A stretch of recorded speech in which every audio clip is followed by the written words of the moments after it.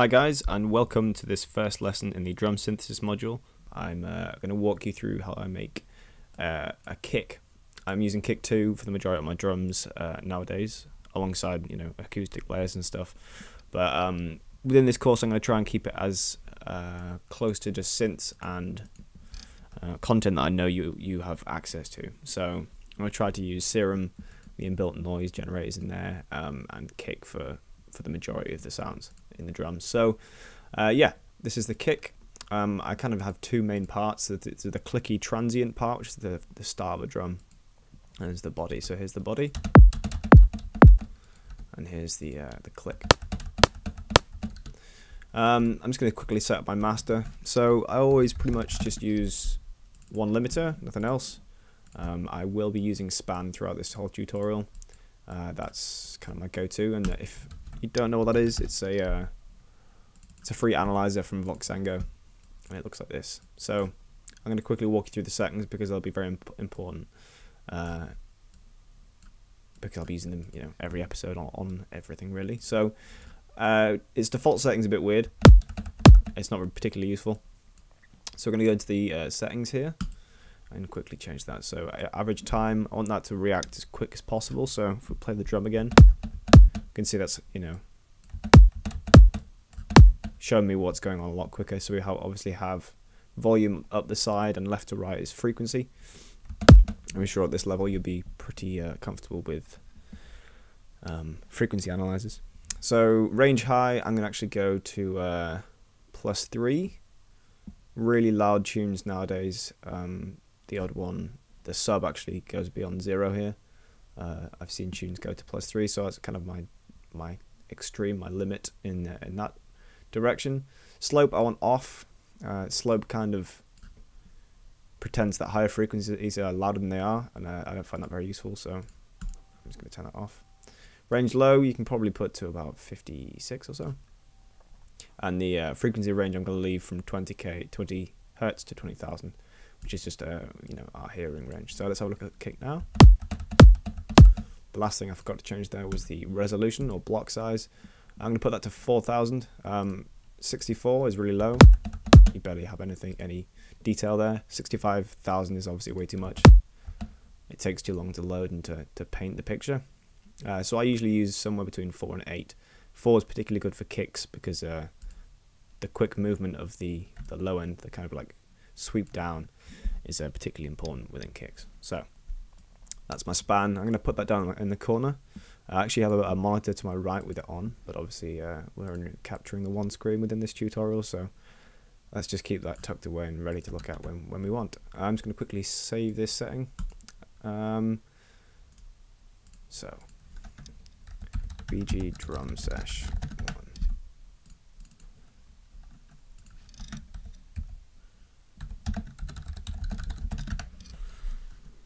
All right. So let's look at our kick then.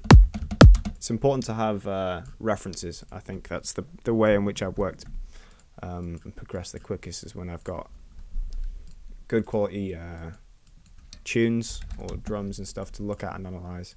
Uh, just through experimentation, you find you'll end up with a few good drums, and you know when you're starting off. And uh, I save those to this folder over time. Sounds 2019 in this case, uh, which obviously has quite a lot in it. Um, but when I'm building a new kick, I like to have a, a, reference point, so I know what it looks like in its waveform. I know what uh, frequency ranges it hits, all that kind of thing. So let's look at our reference. You can see that kind of slope down there, loud transient at the start. It's a little bit more acoustic sounding than uh, our synth one, but still, it's working quite nice.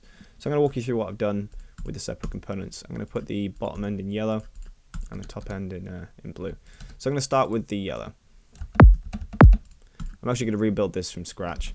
Um, I think is a slightly better way to learn to kind of walk through the steps rather than work backwards, but I just want to have this set up to begin with as a, as a frame of reference. So, Kick 2 is a really, really nice drum synth.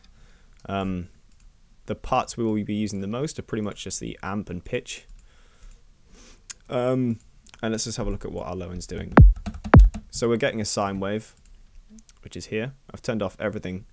I've muted all these uh, click modules, which just add in samples and stuff, which are useful for, uh, you know, making more interesting drums. But we're going to do that in the transient layer rather than with the uh, the low end body part.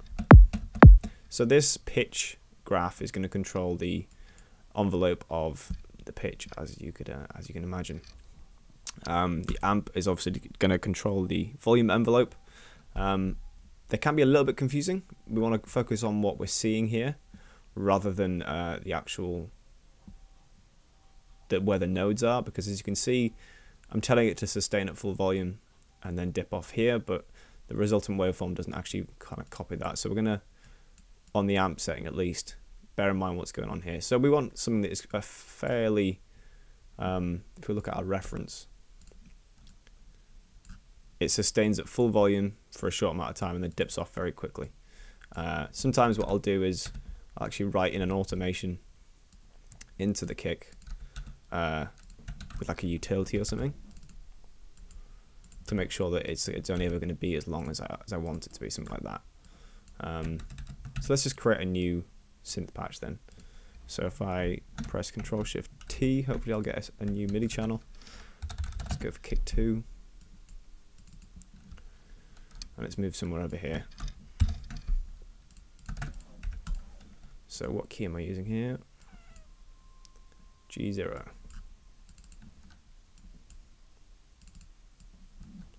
Cool, so I'll stretch the MIDI note out longer than it needs to be.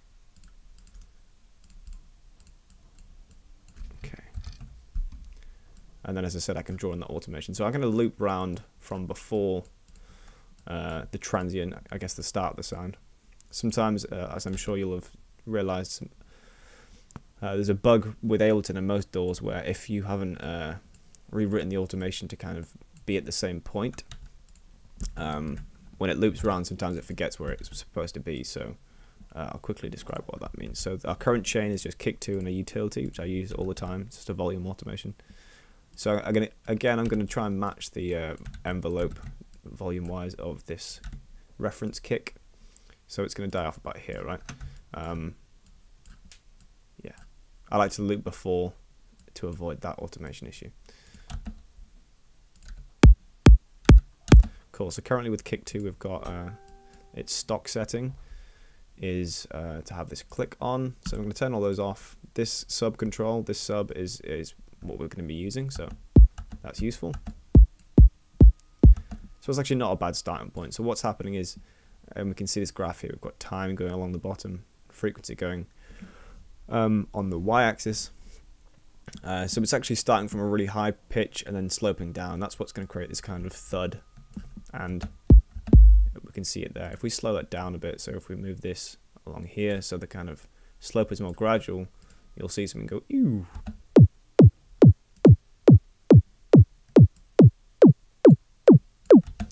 To exaggerate that, I guess we could probably open up that uh, uh, volume automation a little bit.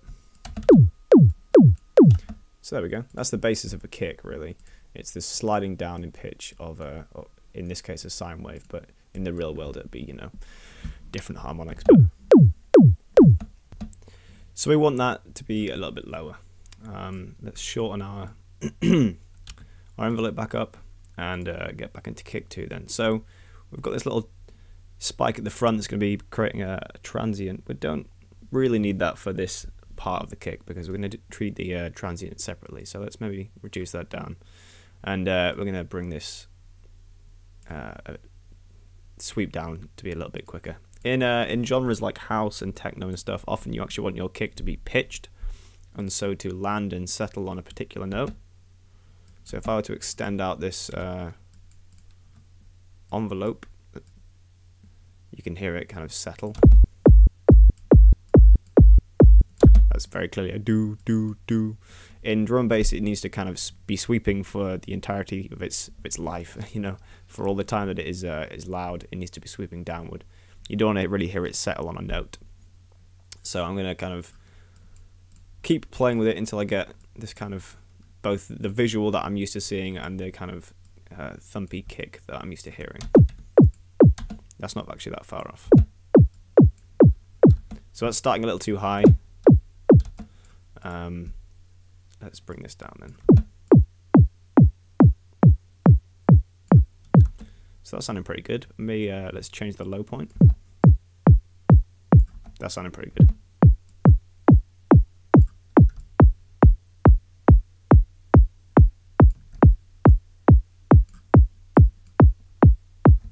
Liking the sound of that. What we can do at this point is exaggerate the uh, frequency area that we like. So I'm going to use Pro Q2. This is my kind of go-to EQ. You can use any though.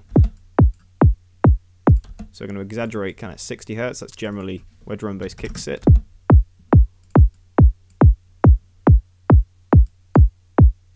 Just to quickly go through my limiting settings, actually. Pro L is set to uh, punchy mode, look ahead off, attack all the way up, release all the way down. Nothing else going on. Uh, that just allows for the loudest drums that I've found without chopping off any transient information. So that's a pretty great low end, actually. Sometimes what I'll do to it is distort it, get a second harmonic in there for some real loudness, because this is actually not a complete saw wave. You can see it actually squares for short short amounts of time, which, uh, if you think about the fact that a signal is, uh, this is like plus one and this is minus one, the the times at which it's at full uh, volume are these ones. So you know, if you imagine a square wave to be the loudest possible sound, where it goes from full plus one to full minus one, you kind of want to square off your wave a little bit to get some more uh, some loudness.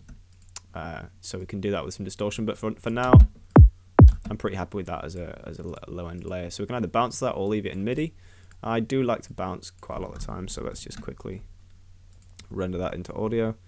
So we've got BG drum synthesis lesson kick v1. So I tend to bounce out quite a few different variations when I'm doing my drum sessions. Um, but for now, this is uh, that's perfectly good. So let's import it in as audio.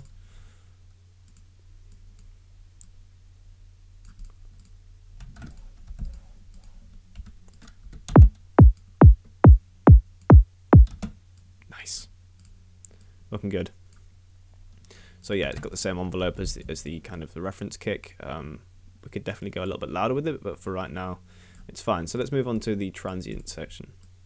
So I'm going to bring this guy over. And just see what they sound like together straight away. So turn off everything we don't need. Let's color coordinate this so it's less confusing. So low end elements I'm going to put in yellow and transients can be in blue. This reference we're going to put in some purple or something. So we're not really using this right now. Let's maybe, I like to slide over and kind of move down and to the right in my projects as I go forward, just to keep things uh, kind of, I don't know, organized in some way. You can also, when you open up the project, you can kind of see the progression of the sound as you go. Alright, so let's leave that a bit quicker.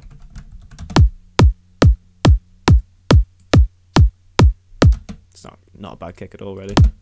Uh, phase alignment is extremely important when making drums, so you'll see me uh, either using this free plugin called Sound Delay, again from Voxengo, um, where you can just slightly move sounds. I'll exaggerate it.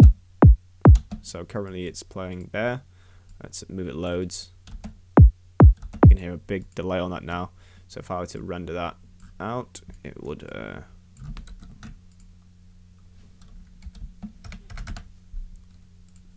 you can see here, probably be fairly delayed. So now it's over there. So that's when you're using the, the times 100, and this is in uh, milliseconds, I think. So you can imagine that if I'm using it in the uh, the smaller regions, what you're doing is just slightly, slightly moving the sound to the left and right. Uh, the alignment of these squiggles on top of each other are super important for uh, for good drums. So if you see me wiggling stuff around, you know why. So I'm going to try that with this, just to see if uh, a bit of wiggling is going to make this the two kind of marry together better. Like it sounds fine already, but it just doesn't have that perfect timing, I don't think. So the smaller increments to the right here, the larger ones are over here. So I'm going to try maybe this one. I'll go until it's, obviously too far and then kind of run it back. Okay, so now they're definitely not aligned, so let's bring it in.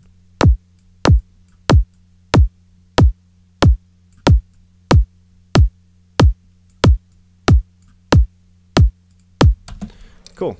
So let's make our own uh, transient layer then. So that's a good start point.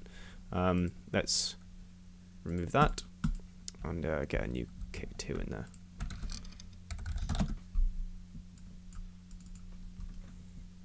Cool. So I'm going to use that utility trick then to make sure it doesn't last any longer than I want it to. This is just a very short, snappy layer. Okay, so we're just kind of trying to create this little section here. So in our reference, it sounds like... So by itself, it's not going to sound very good. Um, but with everything else, hopefully will give the drum some punch. So I'm going to create a MIDI region and uh, stretch this bad boy out. Transient layer in blue this time, a light blue. Cool, so kick 2 and a utility. So currently it's just a little click because the default one comes up with this these click things on. So I'm going to turn them all off uh, and just play with the pitch for now. The amp by default on kick 2 actually comes with a little ramp up here. Um, which again is not actually completely aligned to the time frame. As you can see, it's affecting this area here, not actually waiting until this millisecond amount to, to turn on. Um, I'm going to take that off because it produces a nice click. Let's play with the pitch. So that's getting to something I quite like. I, I like to do the, uh, if you hold right click, you can curve these shapes. Um, and at this point, it's just kind of doing it to taste, really. Uh, I know that this sine wave is at a really high point then, and it's pitching down really quickly, and that's uh, creating a nice drum transient. Beyond that, I'm pretty much using my ears and uh, just kind of trial and error to find a nice sounding click.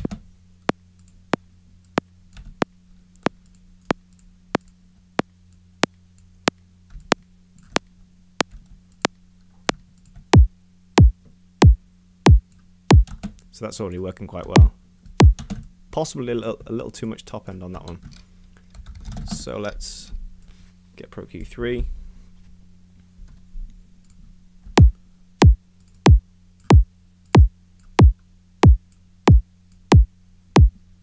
That sounded pretty good. Okay, so in a real drum, there's lots more than just the click and the body. There's all kinds of noise and other layers. We want to create a little bit of that so it's not completely synthetic. As you can hear, that's got some like some room in it. So if we get rid of the transient and maybe the uh, the bottom end, we can hear what's actually going on with the rest of it.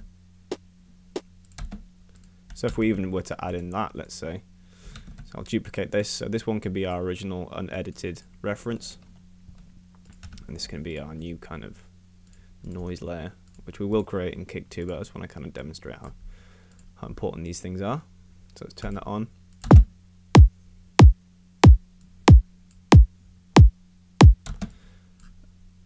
Just a little kind of note, I guess. This, uh, some people, there's certain types of drum and bass where that, that kind of kick is actually all that you would want. Um, but yeah, I like to take it a little bit further and put it slightly more into the realm of realism.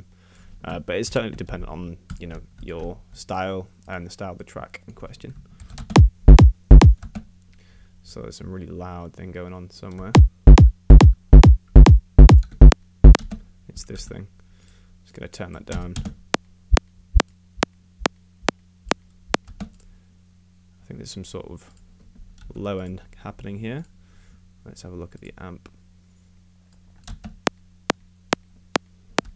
Okay, perhaps it's best to bounce out at this point to avoid any sort of random stuff happening. That is the beauty of bouncing to audio. You know exactly what's going to happen. So I'm just going to put in brackets here, transient layer. And then we have that kind of locked in. It's not going to change or create any weird sounds for us.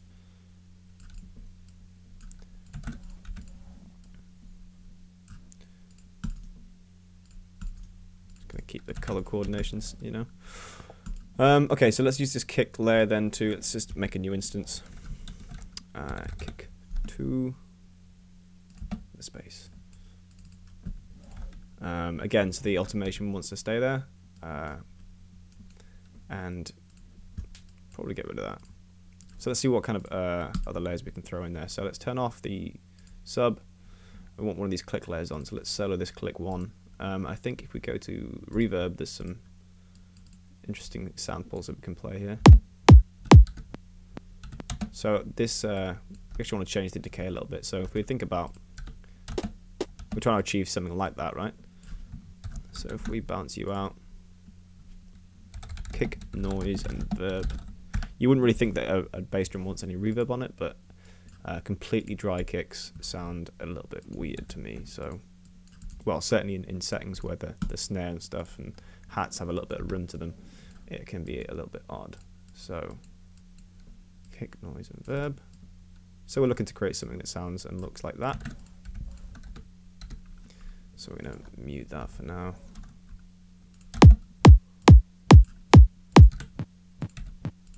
Sounded pretty good. I don't want any transient confliction, so I don't want any, any overlapping sounds at the start of the drum. Um, that's a recipe for a kind of pretty weird transient. Um, I like to keep it quite uh, clinical and clean in that way. I can play with the pitch of it here. So I think it's got a little bit too much kind of uh, low mid stuff going on. So let's open up our EQ.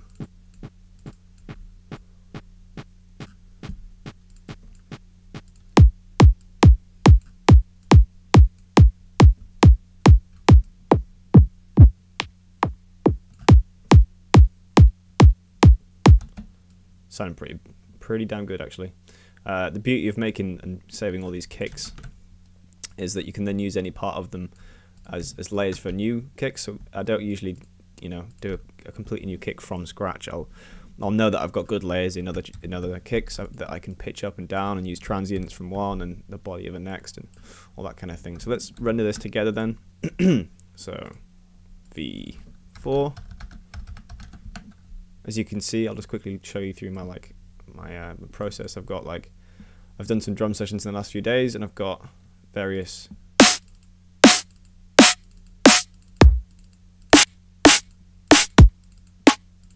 you can hear the different iterations as I kind of go through because not every decision you make is actually beneficial.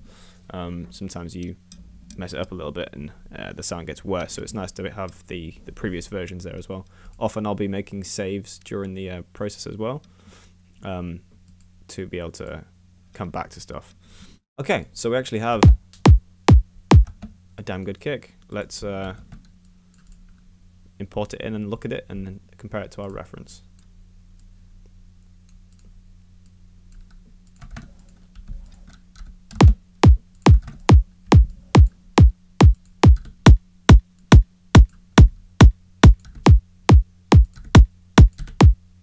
I really like that. I think maybe the uh, the reference kick has got a little bit more weight to it. Um, as you can see here, there's some section of the sound that's not completely maxed out, and as I said, we want a little bit of squaring going on. So I'm going to do a little technique uh, to get some more punch out of it. So I'm going to move it over here again, just for kind of visually to keep it quite simple. I want to be able to hone in and uh, kind of focus my mind purely on that drum bring the reference over as well. Maybe create some channels in between. Top and bottom. There we go. Uh, okay. Oops. Let's put you kind of up here somewhere. Alright, so we've got our... This is the drum we're working on in red. Okay, so I want to split the frequency uh, spectrum into two parts. Uh, the kind of the lows everything below a certain point and everything above it. So I've got this little rack that I use all the time. Um, I'll quickly make it with you guys, and we'll be using it in pretty much all of the course, so uh, it's it's useful to have. There's I'll show you how to do it in ProQ2, and there's a version that you can if you don't have ProQ for whatever reason, um, you can use EQ8, but I wouldn't recommend it because it's not as accurate. So it's a it's a low end splitter with a macro control to so that's kind of like a low pass, and this is a, a high pass. Um, so let's quickly build that. So ProQ2.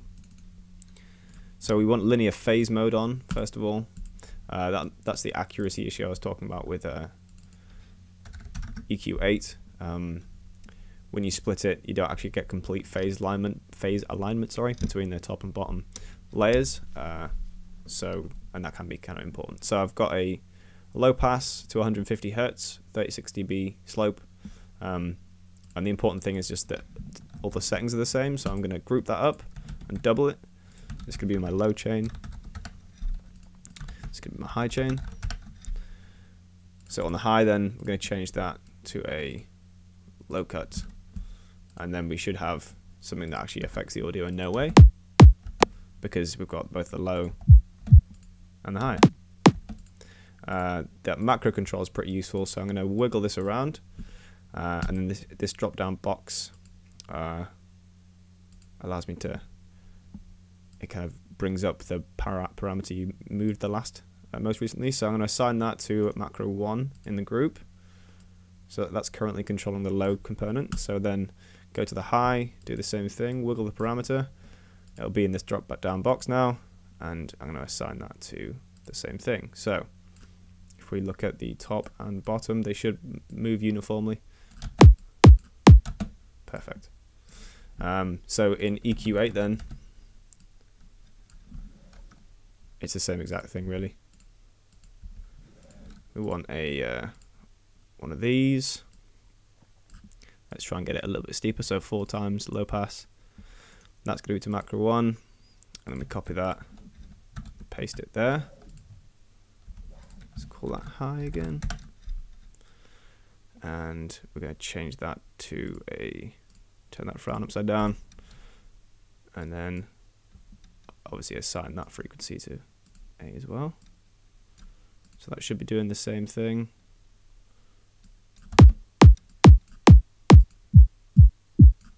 Cool. So I actually prefer using the Pro Q type. Um, and I'm going to use a free clip to square the bottom end off a little bit um, and add some, some weight to it. We want a little bit of that going on.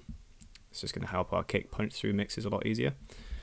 Um, so I'm just going to get this out of the way. So yeah, let's get the free clip up then. So its default settings to a hard clipping, and I'm just going to push the gain up a little bit. Let's isolate that low end.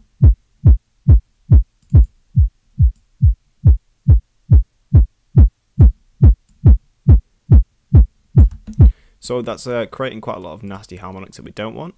Uh, and to kind of rectify that, I'm just going to put the same EQ that I had before on again. I might turn that down a little bit. It might be pushed a little too loud. So on the second EQ, I'm just putting the output level down by a dB.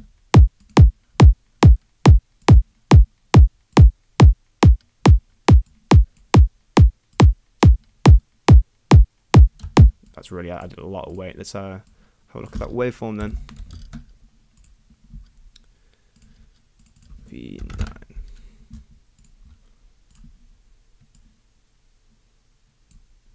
That's beautiful. So, let's zoom in on that guy.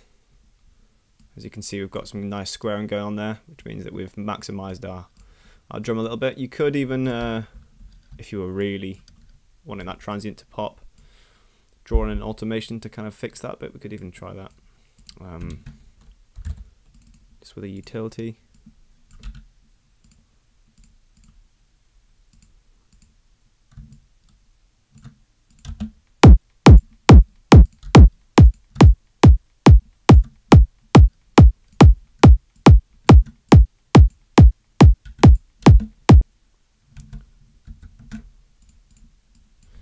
see if that's made any difference as a final kind of final render. It's already a very good kick to be honest, and I'd be happy to use that in a tune. Uh, and you get to know the kind of waveform you're looking at, um, and what's going to pop through and mix nicely. Yeah, that looks looking good. There you have it. So that's our kick synthesis. Um, next up is snares.